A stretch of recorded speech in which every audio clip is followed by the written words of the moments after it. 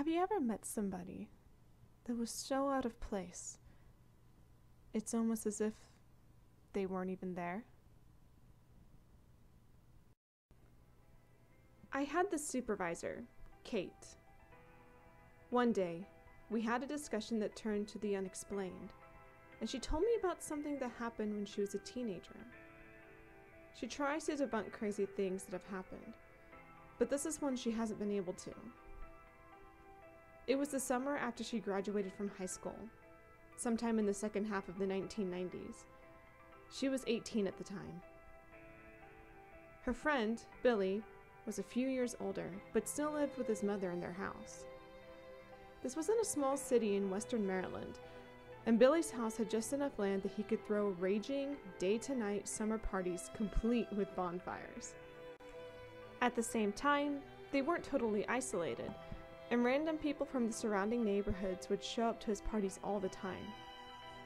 One day, Billy met this skater kid named Nick at a park, and being a social animal guy, Billy invited him to hang out with him at his house.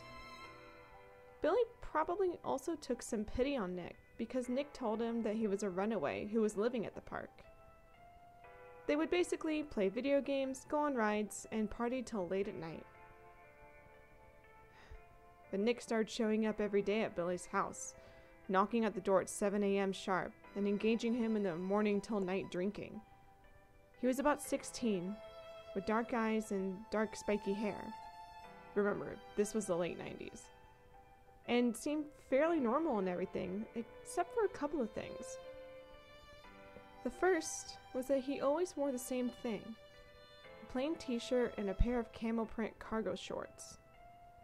And despite the fact that he was sleeping at a park, his clothes always looked clean. The second is that he was never seen eating or going to the bathroom, despite the fact that Nick was drinking heavily with Billy. Finally, oddly enough, no one remembers actually feeling Nick's skin, even my supervisor, who sat next to him in a car during a road trip. She hung out with Billy and Nick at Billy's house two times, and each time she and her friend felt like something was very off with Nick, especially when he would give off this laugh that just sounded very evil and maniacal. He also seemed to get kookier and weirder when they went on a road trip and got further away from Billy City. Nick would also never shut up about his father's gun collection. Finally, Billy's hospitality reached its limits. After two weeks of waking Billy up at 7 a.m. to go party, Billy snapped at Nick at his front door. He said, Look, Nick, you've been coming over here every morning for two weeks. You're waking up my mother, who's trying to sleep. You really need to go now. Please, just come back later. Then he slammed the door shut. Nick never showed up again. Billy came to Katie a little bit later with a newspaper article. It was about Nick, who had apparently killed himself. Nick had escaped from the mental asylum his parents had put him in that was located in Billy's town, got into his father's house, and shot himself with his father's gun. Billy was originally upset because he felt like he must have put Nick over the edge when he kicked him out. Until he checked the dates. Nick had committed suicide on July 10th, two weeks before they had met. Hey everybody, I'm Bella Deadwood, and thank you for watching my late and short video.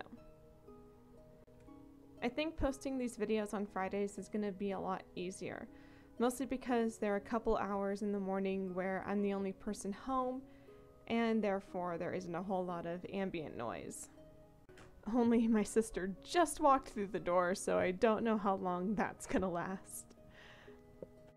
If you have a story that you would like narrated, you can either message me directly here on YouTube, along with a note saying that I have permission to uh, narrate your story on here, or you can type it up and post it over on our free horror stories over on Reddit.